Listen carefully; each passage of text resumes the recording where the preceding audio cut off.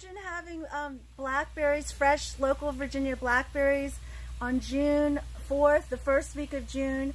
Uh, take a look here at all of the berries that are being right now grown in, in, in these large pots in a high tunnel at Virginia State University Randolph Farm.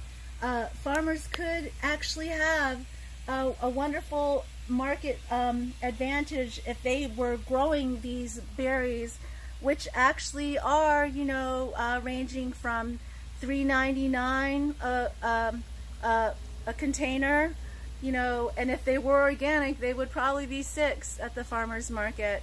So, um, so this is a very good idea uh, for for small farmers who might be considering what to do with their high tunnel.